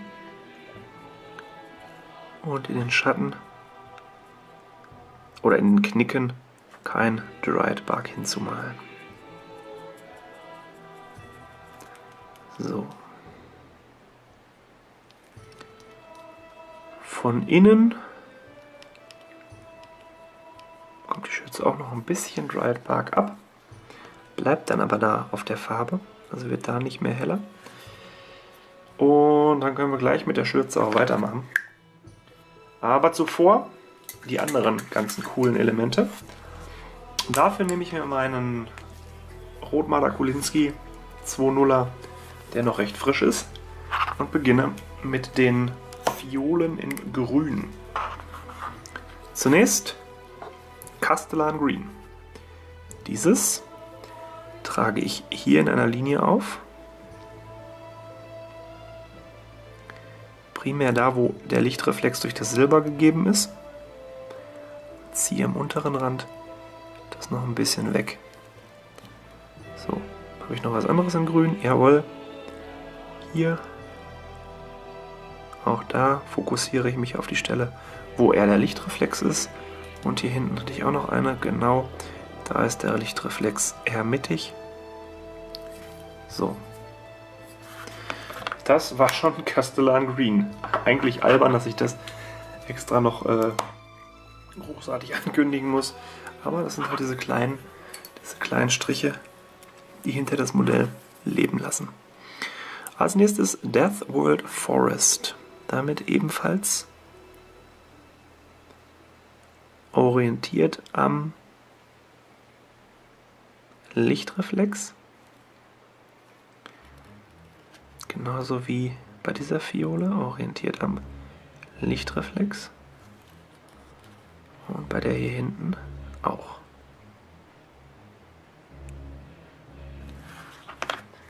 Dann noch einmal mit Ogrin Camo.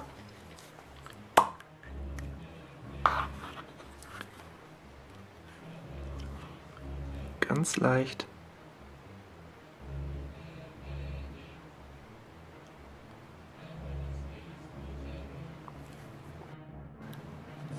Ein paar, ein paar kleinen Strichen diesen Lichtreflex aufgreifen.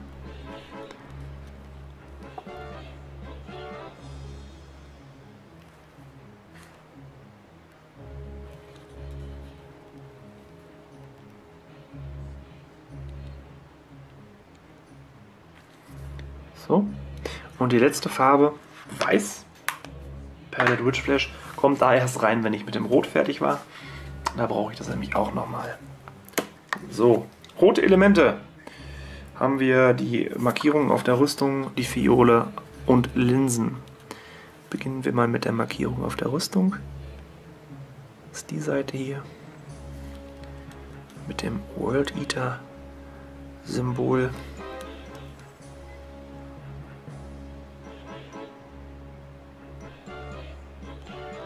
Einfach nochmal die rote Farbe rausarbeiten.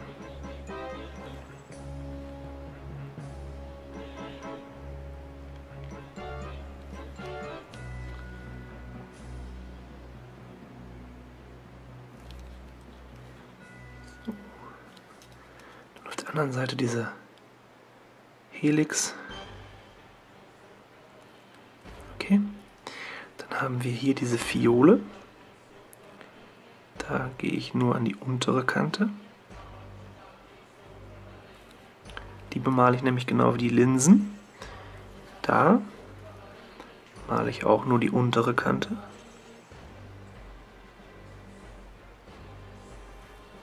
Und im Auge. So. Das waren die roten Elemente, genau. Red beiseite. Dasselbe wiederhole ich mit Mephiston Red. Beginne wieder hier an der, an der Schulter.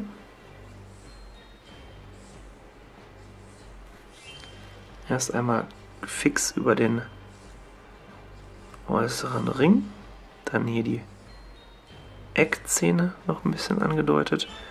Und ganz leichte Punkte auf diese Stacheln außerhalb des Rings.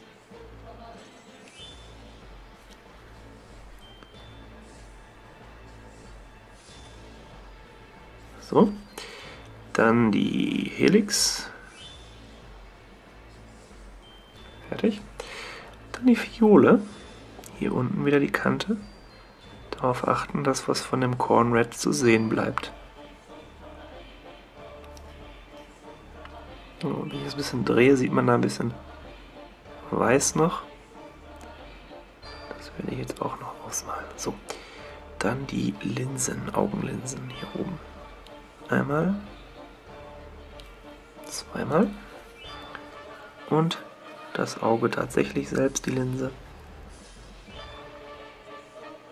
So. Dann haben wir auch Cornred, Mephiston Red, und jetzt als nächstes Wild Rider Red. Mit Wild Rider Red arbeite ich hier auf der Schulter nochmal die Nieten nach, ein bisschen. Und ziehe ganz leicht hier oben über die Stacheln und ein bisschen noch auf die Zähne.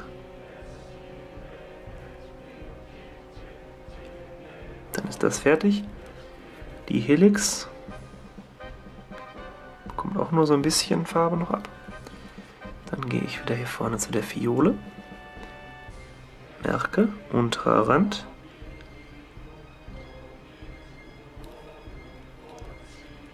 Augen. Unten. Oh. Da habe ich ein bisschen geschlammt. Mist. Aber das kriegen wir gleich wieder weg. Und einmal da rein.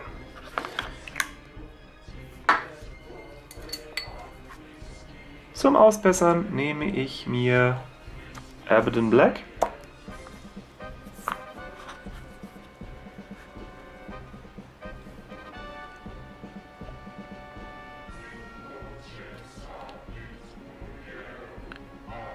Und ziehe so eine ganz kleine Linie drauf. Zack, ausgebessert. Troll Slayer Orange. Das ist die nächste Farbe. Oh, da habe ich auch die Malunterlage gebappt. Muss mal eben weggeputzt werden hier. Nicht, dass ich mir die Miniatur noch irgendwie versaue. Mit Fingern habe ich nichts. Nein. Gut. Troll Slayer Orange.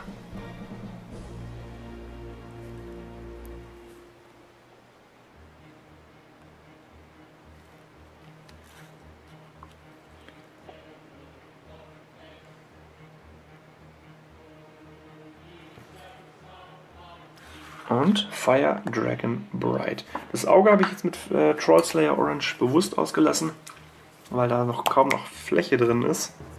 Also es ist ja so dermaßen klein. Fire Dragon Bright.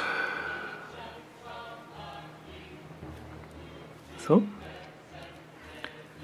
Die Linsen.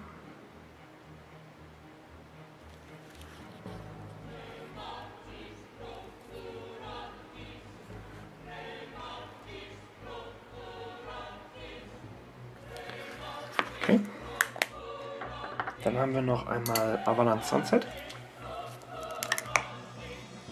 Damit ziehe ich jetzt bei der Fiole zum Beispiel hier unten diese Kante nach. Bei den Linsen setze ich oben jeweils einen kleinen Punkt rein, so wie so einen kleinen Lichtreflex. Und beim Auge ganz vorne im Augenwinkel einen Punkt rein. Dann haben wir als nächstes Palette Witch Flash. Erstmal für die Linsen und Fiolen. Beginnen wir mit der Augenlinse. Im hintersten Winkel einen weißen Punkt. Da, minimal weißer Punkt. Dann auf dieser Fiole hier. Hier vorne. Hier. Und hier runter. Auf dieser Fiole. Einfach mal hier runter. Bei der hier hinten. Oben eine Kante, unten eine Kante und ein paar Punkte runter. Und bei der hier habe ich hier oben eine Glanzkante.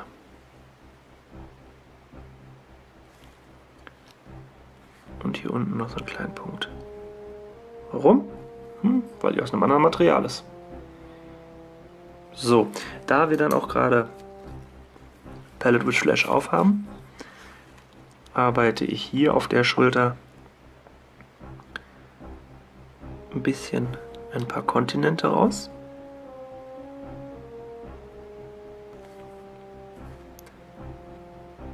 So, reicht schon.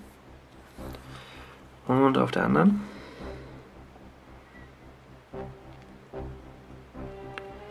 Nochmal ein kleines Highlight auf die Flügel.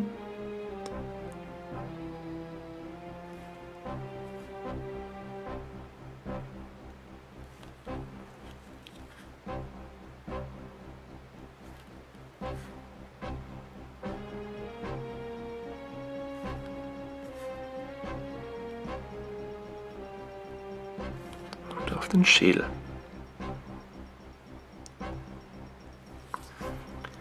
So, dann bleibt eigentlich nur noch dieser lustige Mantel.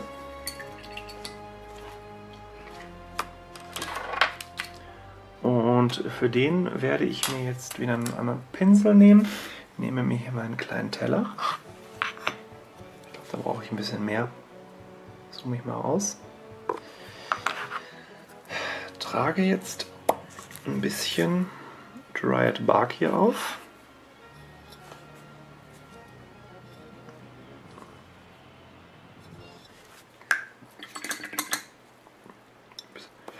Ein Hauch Wasser kann auch dazu. Dried Bark ist auch bald kaputt, der Farbtopf. Deshalb muss ich den nochmal speziell sichern. So, dann habe ich noch, was ich eben ja nicht erwähnt habe, Doombull Brown und Tusk Gore Fur. Ich nehme mir ein bisschen Doombull Brown, mische das hier mit in das Dried Bark.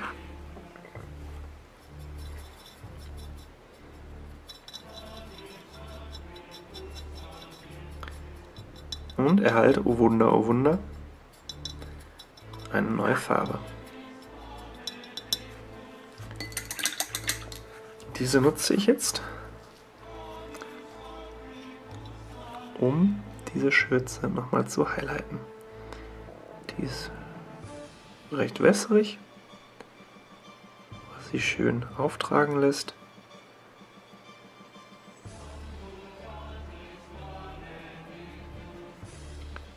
trage sie überall da auf. Keine Knicke oder Falten in der Lederschürze sind.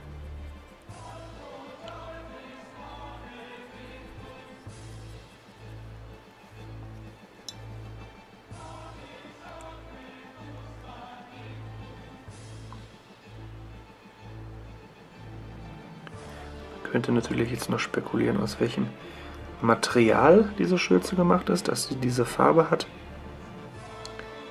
Aber so weit möchte ich da gar nicht rein in die Thematik. So, da das sehr dünn ist, sehr flüssig, sehr dünn, haben wir noch eine zweite Schicht. Bei dieser zweiten Schicht können wir schon jetzt ein Blending schaffen, dass ich hier ein bisschen weniger Fläche bemale als gerade eben mit der ersten Schicht dieser Farbe.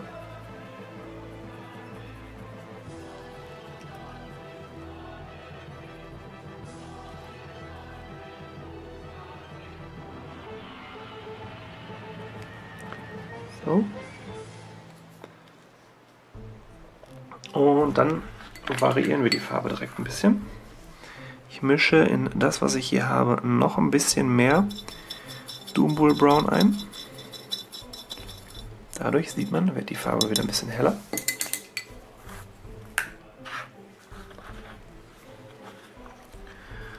Und kann eine weitere Schicht hier auftragen.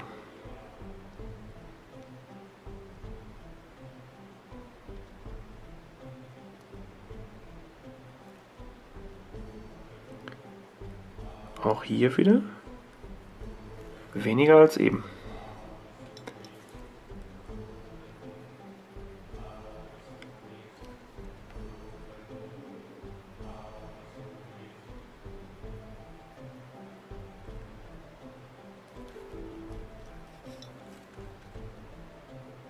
Und noch eine zweite Schicht dieser dünnen Farbe.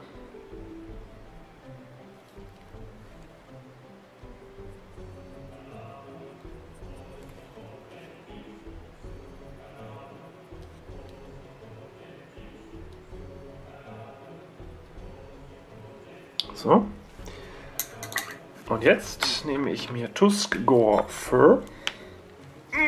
Was nicht aufgeht. Doch jetzt. Tusk Gore Fur. Und gebe davon auch noch etwas dem Mix bei.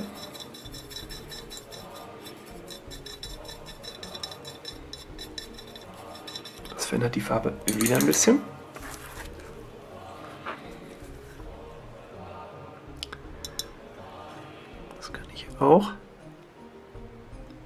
Jetzt sehr flüssig, merke ich gerade. Das kann ich auch nochmal auftragen.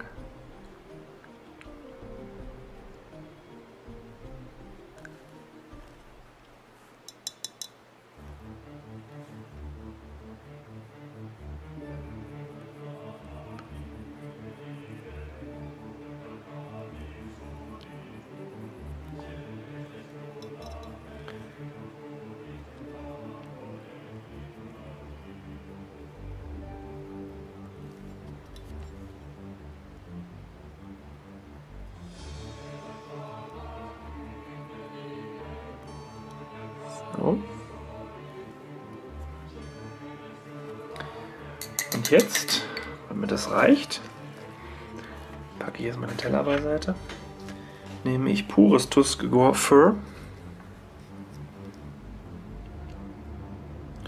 ziehe hier vorne an dieser Kante einmal entlang.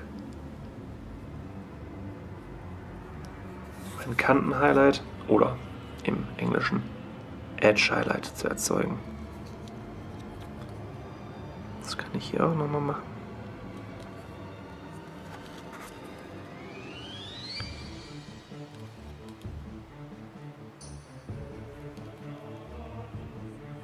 Einmal nach hier oben. So, und damit ist im Großen und Ganzen unser World Eater fertig. Ich werde jetzt noch quasi das Finish machen. Also das Base fertig bearbeiten. Ähm, die Pigmente nochmal mit Agrax Earthshade verschieben. Dann das Silber noch ein bisschen highlighten. Vorne das Grau ein bisschen höher ziehen durch Bürsten. Werde dann Klarlack auftragen, Purity Seal. Und dann werden wir den Finish machen und mir fällt gerade auf, nein, ich bin doch noch nicht fertig. Eine Sache habe ich noch vergessen. Vorne hat er noch so eine kleine Helix auf, dem, auf der Stürze. Und einen kleinen Schädel. Da nehme ich mir einfach wieder weiß. Ganz simpel. Reduzierte Farbpalette. So.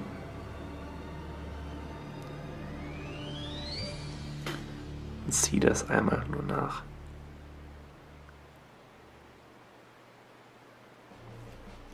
Nur, dass man sieht, dass da auch was ist. So, jetzt werde ich Space fertig machen, ähm, Mattlack auftragen und euch dann für die letzten Schritte wieder dazu holen. Nun als letztes kommen noch Finishing Touches.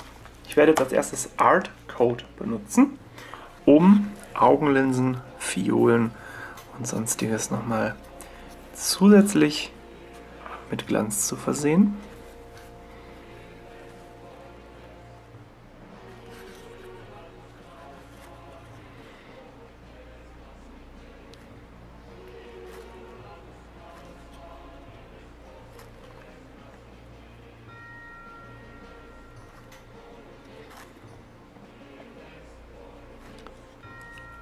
So. Und hier hinten die eine noch.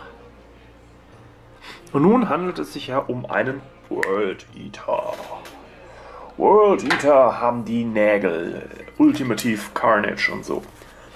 Ich bin der Meinung, ein World Eater sollte auch ein wenig Blood for the Blood Gott abbekommen und ein Apothekarius sowieso. Deshalb Technical Color Blood for the Blood God und ein Dry S in Ersatz als Stippelbrush tunke ich ein wenig in die Farbe und nachdem ich ein bisschen was davon auf, dem, auf der Küchenrolle abgetupft habe, tupfe ich ganz vorsichtig aufs Modell. Und zwar, um das Ganze nicht zu übertreiben und zu einer zu krassen Karikatur werden zu lassen.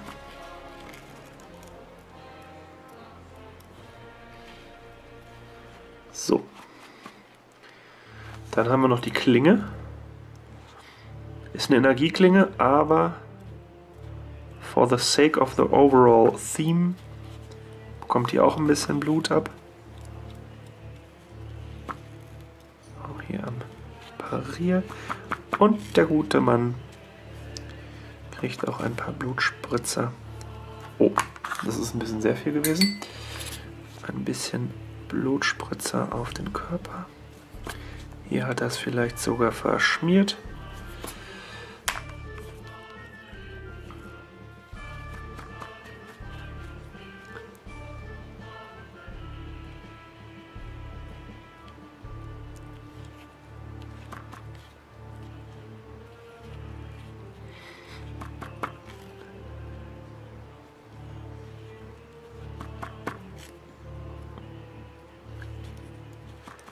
Auch hier auf der Seite bisschen mehr dran.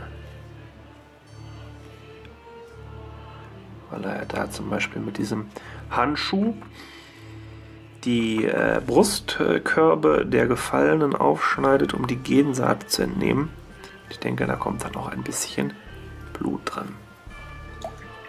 So, das reicht eigentlich schon. Wir wollen es ja nicht übertreiben.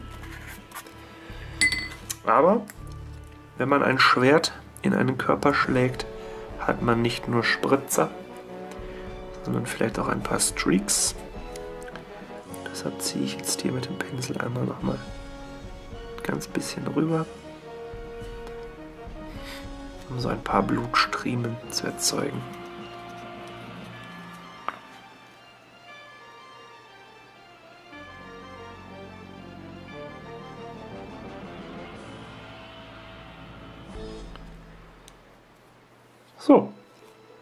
Und damit würde ich sagen, ist unser World Eater fertig. Also wieder ein User Request Tutorial abgeschlossen. Wem das gefällt, der darf das gerne nachmalen. Wenn ihr es nachmalt und vielleicht sogar veröffentlicht, veröffentlichen wollt, gerne posten mit dem Hashtag Maltischer Mittwoch, Hashtag Dizzyfinger oder Hashtag Mum2. Oder wenn ihr euch unsicher seid, äh, schickt mir eine persönliche Nachricht über Facebook oder YouTube mit dem Link zu eurem Bild oder mit dem Bild direkt. Anregung, Kritik in die Kommentare und danke fürs Zuschauen. Viel Spaß beim Nachmalen.